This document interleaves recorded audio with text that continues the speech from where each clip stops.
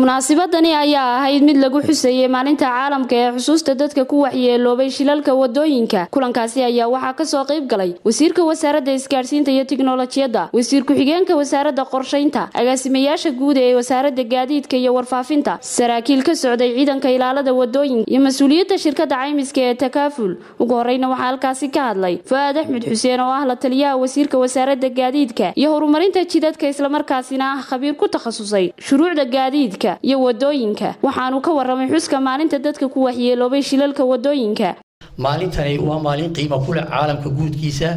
Waa maalin loogu talagalay in caalamka lagu xusuusiyo oo lagu baraarujiyo bulshaweynta caalamka khatarta iyo khasaaraha heerka khatarta iyo khasaaraha shilalka gaadiidku ay gaadhsiisan yihiin maanta caalamka.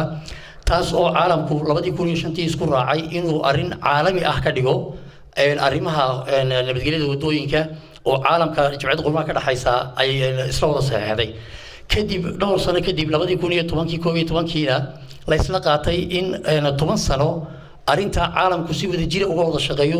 Maareeyaha shirkadda caymiska ee takaaful cumar xaaji xuseen ayaa isaguna halkaasi ka hadlay. Waxaanu ka waramay shirkadda caymiska ee takaaful adeegyada ay u qabato bulshada. Annagu shirkad ahaan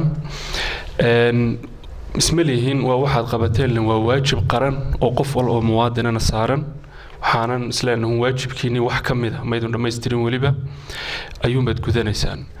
Shilkani lacag badan iyo dad badan iyo hanti badan mood iyo nool haddaynu si kaleba u dhigno ayuu naga galaaftaa. Saddex shay baana sabab u ah dadkeennu waxay u haystaan xagga dowladda inay tahay. Laakiin waxa weeye waa xagga dadweynaha qof aan gaadhiga aqoon u lahayn oo isku qaadaya oy dadkoodii ku dhiirigelinayaan kaxee. Sarkaal ka tirsan ciidanka nabadgelyada waddooyinka ayaa ka waramay farqiga u dhexeeya. Shilalka ka dhacay somalilan sannadkii hore iyo sanadkan. Shilalkii dhacay iyo dadkii ku dhaawacmay iyo dadkii ku dhintay sannadkii labadii kun iyo toddobiyo tobankii. Tirada guud ee shilalka sanadkaa dhacday waxay ahayd afar kun iyo sagaashan shil ayaa dhacay tobankii bilood ee labadii kun iyo sideed iyo tobankii shilalkii dalka ka dhacay tobankaa bilood waxay marayaan tirada dhimashada boqol iyo afar iyo toddobaatan qof ayaa ku dhintay. Laba kun toddoba boqol iyo soddon qofna way ku dhaawacmeen. Kun iyo sideed boqol iyo toddobiyo toddobaatan baabuur ayay waxyeelo ku gaadhay. Boqol iyo sagaal iyo toban xooli way ku dhinteen. Lix iyo soddon dhisme waxyeelaa soo gaadhay lix iyo toban birood oo nooc walba isugu jira iyagana waxyeelo ayaa soo gaadhay. Saddex kun sideed boqol iyo konton shil ayaa dalka oo dhan ka dhacay.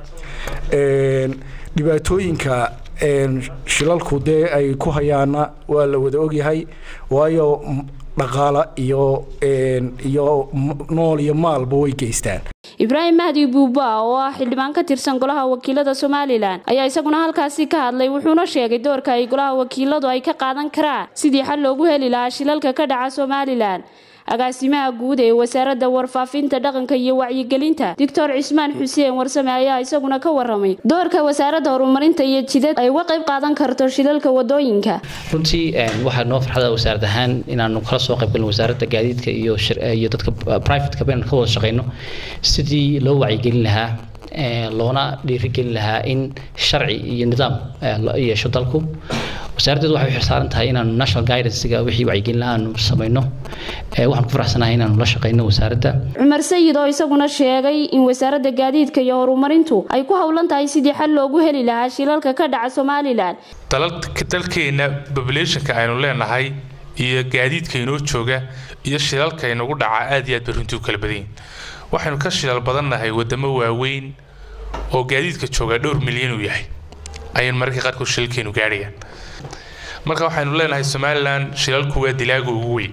Injineer xuseen ibraahim xasan buuni oo ah wasiir ku-xigeenka wasaaradda qorshaynta qaranka somalilan wasiirka wasaaradda isgaadhsiinta iyo tiknolojiyad cabdiweli sheekh cabdilaahi sheekh suufi ayaa isaguna halkaasi ka hadlay waxaanu ka waramay dhibaatooyinka shacabka somalilan ka soo gaadha shilalka waddooyinka inta ay socdaan. Dadka wax ku waxyeelooba gaadiidka oo ama magaalooyinka dhexdooda ha ahaato ama magaalada dibaddeedaba waxaa kaloo jira dad badan iyaguna ku naafoobay oo maaragtay ku lixaad waayo oo wax laga yaabaa dhalinyar badan oo wadanka wax u qaban lahayd oo productionka qayb ka noqon lahayd inay wax ugu noqdeen waxa gaadiidka iyo shilkooda marka in la xasuusto kolley wasaaradda iyo shirkadda aad bay ugu mahadsan yihiin si guudna in la adkeeyo shuruucda intii ay socotay munaasabadaasi waxaa lagu xusay maalinta caalamiga ee xusuusta dadka ku waxyeelooba shilalka waddooyinka waxaana si qoto dheer loogu lafaguray dhibaatooyinka ay geystaan shilalku iyo sidii looga hortegi lahaa shilalka ka dhaca somalilan khadre cawlhaybe telefishinka caalamiga ee star t v hargeysa